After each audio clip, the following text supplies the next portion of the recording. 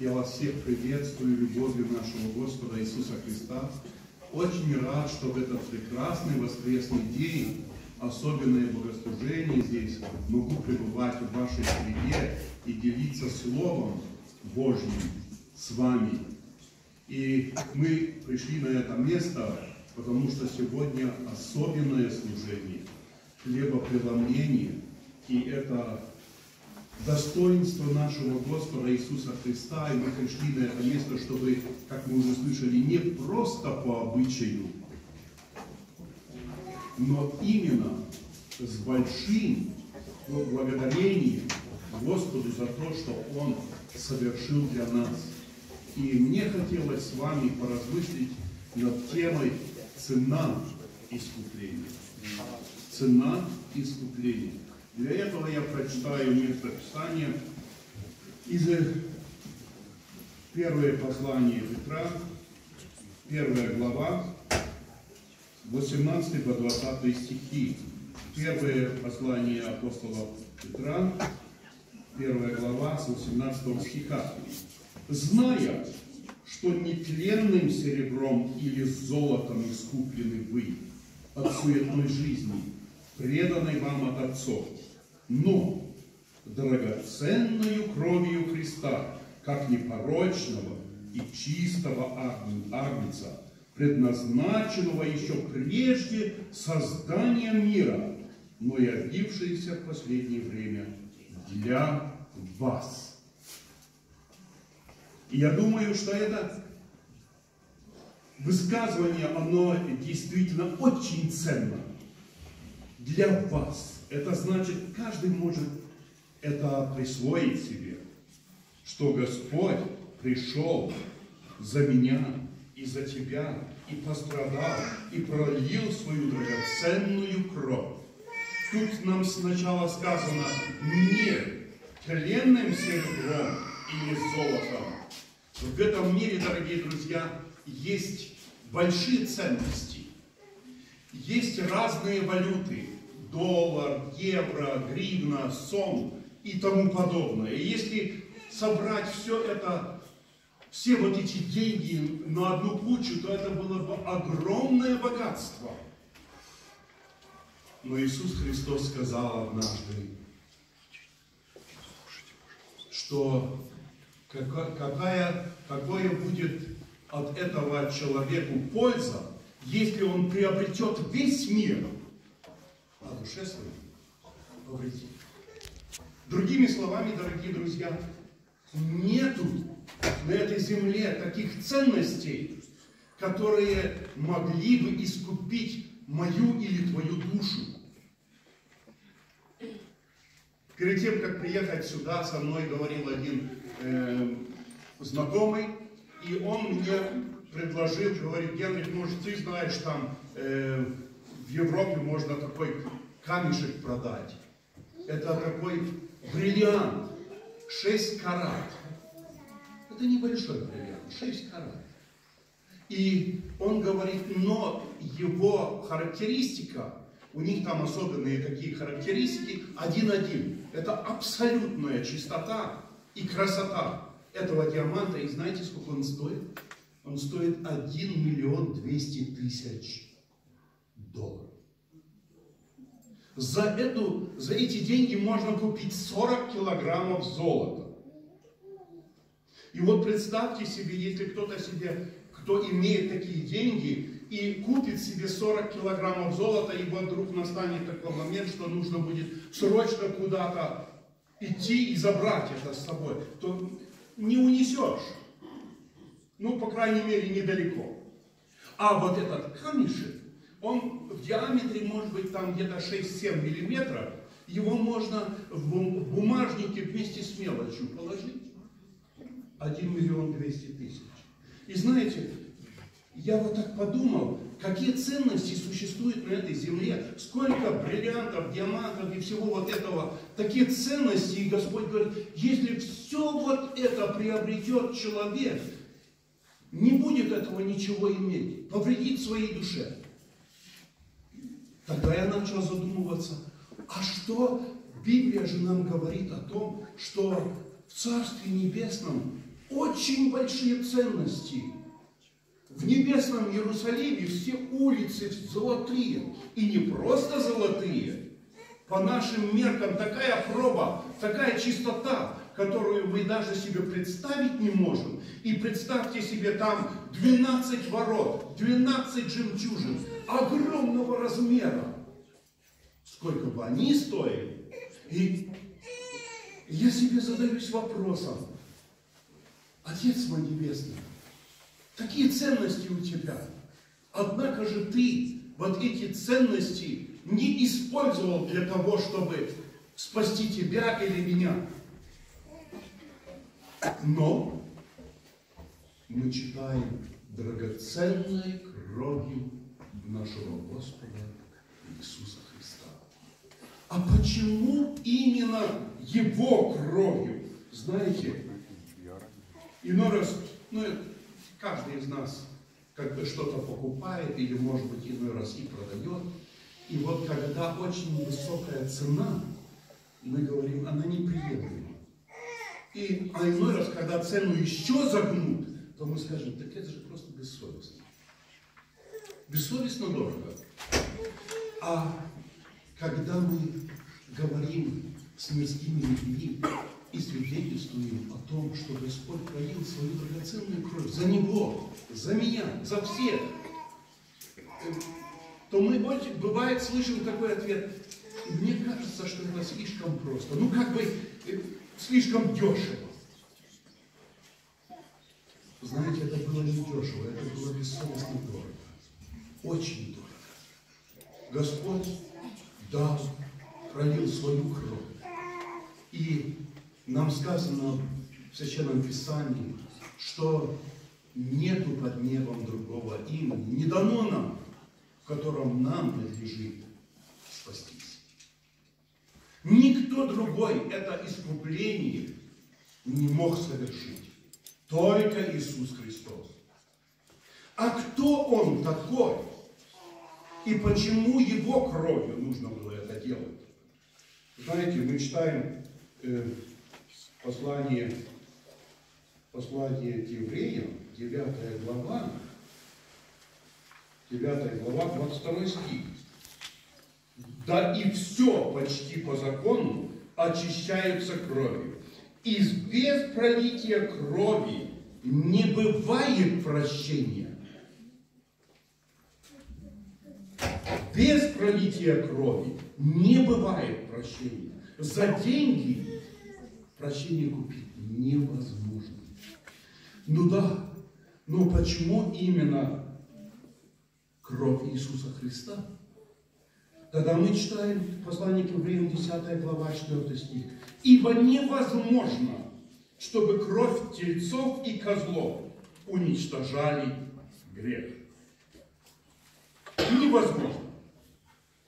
Они, вот эти все жертвоприношения Ветхого Завета, как они, может быть, им исчислялись миллиардами или биллионами, они являли все только лишь прообразом той крови, которую пролил Иисус Христос на Голгофском кресте. И поэтому очень важно, ну, почему же, почему же Иисус Христос, почему не другое какое-нибудь небесное существо пришло и,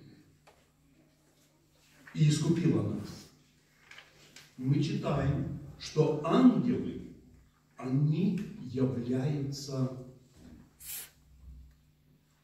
чем? Духами. Они нас искупить не могут. Мы, люди, можем быть очень примерными, но у нас у всех уже есть потомственный грех. И наша кровь нечистая. Моя кровь не годится никуда. Невозможно моей кровью искупить кого-нибудь, даже самого себя не может своей кровью. Это может только Иисус Христос. И знаете, когда Иисус был на этой земле, то Он спрашивал учеников, скажите, кто, говорят люди, я есть? И что ему отвечали ученики? Они ему говорили, Некоторые говорят, что ты Илия, некоторые говорят, что ты пророк или еще кто-либо. А что вы скажете? А они говорят, а, а, а Петр говорит, ты Мессия, Сын Божий. Иисус говорит ему, это тебе не плоть и кровь открыл. Мой небесный Отец открыл тебе эту истину. И мне хотелось бы прочитать место Писания из э, Евангелия от Марка, 4 глава, с 36 стиха. «И они, отпустив народ, взяли его с собой, как он был в лодке, с ним были и другие лодки. И поднялась великая буря, волны били в лодку, так что она уже наполнялась водой. А он спал на корме на возглавии. Его будут и говорят, ну, учитель, неужели тебе нужды нет, что мы погибаем? И встав, он запретил ветру и сказал морю, умолкни, перестань. И ветер утих, и сделалась великая тишина. И сказал им, что вы так боязливы? Как у вас нет веры? И убоялись страхом великим и говорили между собою, кто же сей, что и ветер, и море повинуются ему? Кто он такой? Знаете, мне очень больно становится и горько, когда люди вот так вот спрашивают, кто он такой, что ему повинуется. С одной стороны, казалось бы, Петр такой, так засвидетельствовал, что он Сын Божий, что он Мессия. И вдруг, кто он такой? Смотрите, в пятой главе мы читаем далее, они прибыли в страну Гадаринскую, Десятиградие. И что мы там читаем? Увидев же Иисуса издалека, бесноватый, который из гробов бежал к нему навстречу, увидев же Иисуса издалека, прибежал и поклонился ему, и, вскричав громким голосом, сказал, что тебе до меня, Иисус, Сын Бога Всевышнего? Заклинаю тебя Богом, не мучь меня.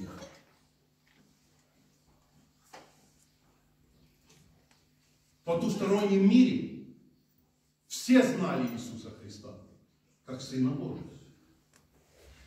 И вот эти бесы, они знали Его. И тут не этот бесноватый говорит об этом, но бесы из Него говорят.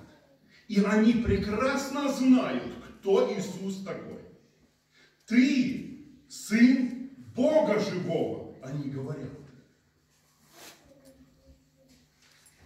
И мы можем во многих местах, у нас просто нет времени все это э, рассмотреть, и во многих местах Библии мы находим, что вот именно вот эти бесы и дьявол, они прекрасно знают. И мы видим здесь, на этом месте, что Иисус имеет перед ними абсолютный авторитет. Они просят Его, чтобы Он их не изгнал, чтобы Он их в свиней запустил.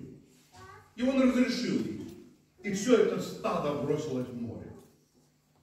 Знаете, Иисус, когда он, когда он в этой буре был, и там захлестывала вода, волны в лодку, что лодка уже почти полная была, я удивляюсь, вы, может быть, тоже, что он спит.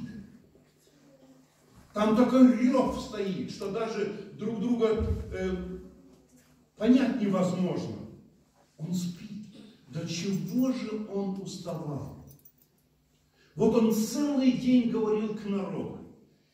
У него не было вот такого микрофона.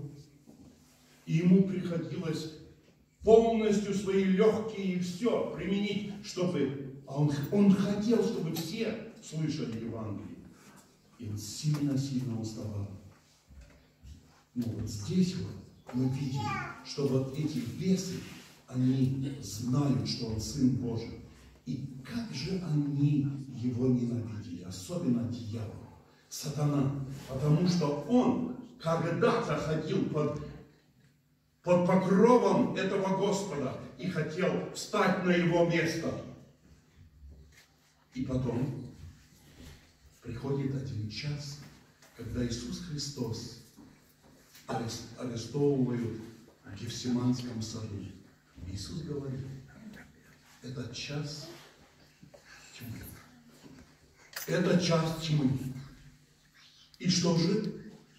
И когда он перед Синедрионом стоит ночью, и там лжесвидетели никак не могли обвинить его так, чтобы оно было правдиво, тогда первосвященник спрашивает его тоже. И задает этот же вопрос. Ты ли Мессия, и ты являешься ли Сыном Божьим? Ответь нам напрямую. Скажи прямо. И Иисус говорит, ты говоришь, я есть И тогда Он на основании вот этих слов нашего Господа раз, раздирает свои одежды и говорит, зачем нам еще какие-то свидетели? Все ясно. Он богохульник. Первосвященник мирской. Иисус Христос, первосвященник небесный. Мирской обвиняет небесного первосвященника, но Иисус Христос ничего больше не говорит. И когда он уже перед Пилатом, Пилат трижды это говорит, я не нахожу никакой вины в нем. А народ, первосвященники, фарисеи, книжники и садуки кричат, распни его, убей безвинного. И Христос, Христа распяли. И казалось бы, дорогие друзья, здесь злорадствует дьявол и все демоны злорадствуют и радуются. Вот этот ненавистный, который, который мог в любое время приказать им, он умер. И казалось бы, они такую победу одержали. Христос такое поражение. Мне хотелось бы с вами прочитать два места Писания из э, Откровения. 13 глава Откровения. Зверь, которого я видел, был подобен барсу. Ноги у него, как у медведя, а пасть у него, как пасть у льва. И дал ему дракон силу свою и престол свой, и великую власть. Это антихрист. А дракон это дьявол. Он ему дает э, антихристу эту власть. И видел я, что одна из голов его как бы смертельно была ранена, но эта смертельная рана исцелела. И дивилась вся земля, следя за зверем, и поклонились дракону, который дал власть зверю. И поклонились зверю, говоря, кто подобен зверю всему? И кто может сразиться с ним? И даны были ему уста, этому зверю, говорящего гордо и богохульно, и дана ему власть действовать 42 месяца, три с половиной года. И отверз он уста свои для хулы на Бога, чтобы хулить имя Его, и жилище Его, и живущих на нем. И дано было ему вести войну, вот внимательно здесь, и дано было ему вести войну со святыми и победить их. И дана была ему власть над всяким коленом и народом, и языком, и племенем. Этому зверю дана власть воевать со святыми и победить. Он побеждает. А теперь хочу с вами начало 15 главы прочитать во втором стихе. «И видел я как бы стеклянное море, смешанное с огнем, и победившие зверя, и победившие зверя, и образ его, и начертание его, и число имени его стоят на этом стеклянном море, держа гусли Божьи». Удивительно. С одной стороны, этот зверь побеждает, одержал победу, здесь, на земле. А, а в Царстве Небесном те, которые здесь поражение потерпели и которые погибли, оказались победителями. Они победители. И знаете, так же было с Иисусом Христом. Злорадствовало все. Дьявол и, и бесы злорадствовали. Они победили Христа. Но потом мы читаем послание к, э, к Ефесянам,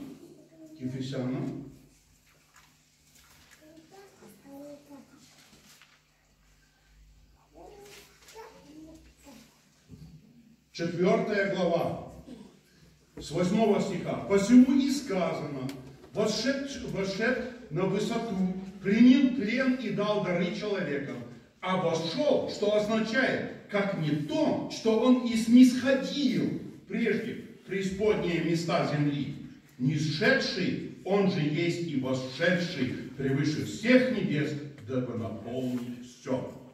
Другими словами, чтобы понятнее было, Иисус Христос, когда умер на Голговском кресте, на нем какие грехи лежали? Всего, мира. И куда они его, куда он попал с ними? Преисподня. В ад. Он попал в ад. И теперь злорадствовал дьявол и все, и все бесы. А он-то не согрешил. Он наказание понес, все совершил, и теперь Отец его воскрешает. И мы читаем, что вот это э, послание к Коринфянам, нам, мы читаем, что он, в 15 главе 55 стихе, что он, ад, где, э, смерть, где твое жало, ад, где твоя победа? Христос все победил. Казалось бы, он был поражен. Казалось бы, дьявол и вся его нечистая сила, они одержали победу. Да, здесь. Но не там. Иисус Христос, Он является Спасителем. Мне хотелось бы еще многое с вами подчеркнуть здесь, в особенности и то, какое благоволение имеет Господь к людям – вот помните, когда Иисус Христос родился, и ангелы пришли к э, Вифлееме, э, к пастухам, они что говорили? Мир на земле человека благоволение. Что люди имели какое-то благоволение перед Богом? Да нет.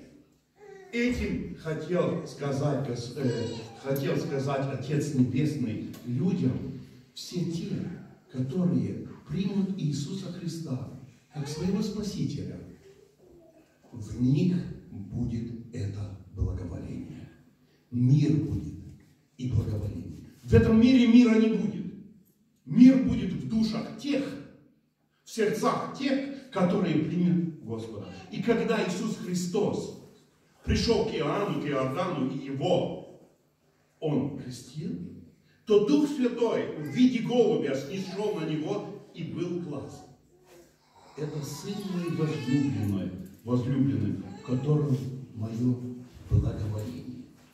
Потом, 17 глава Матфея, когда он на горе преображения, опять это голос Отца. Он говорит, это Сын мой, в котором я имею благоволение, его слушайте. Вот если вы, дорогие друзья, если я хочу, чтобы Господь имел ко мне благоволение, то нужно Иисуса Христа принять как своего Спасителя. И сегодня мы особенно хотим вспомнить эту великую победу, это искупление. Она такая дорогая, это, это искупление такое дорогое. Только кровь Иисуса Христа смогла оправдать человека, тебя и меня. И для этого мы сегодня здесь, чтобы в особенном, особенно вспомнить и иметь вот это общение в Его крови. Послание э, Евангелия от Луки, Евангелие от Луки, 22 стих, 22 э, глава. Там мы читаем. Просто хочу прочитать и закончить. С 19 стиха. «И взяв хлеб, и благодарив, преломил и под, подал им, говоря, сие есть тело мое, которое за вас, за вас предается. Сие творите в мое воспоминание. Также и чашу после вечери говорят, сия чаша есть новый завет в моей крови, которая за вас, за вас проливается. Разве это не чудо? Иисус Христос совершенно сознательно шел на эту страшную смерть, чтобы пролить свою кровь. Ибо так возлюбил Бог мир, что отдал Сына Своего Единородного, дабы всякий, верующий в Него, не погиб, но имел жизнь вечную. Слава Ему! Аминь. Встанем еще помолимся.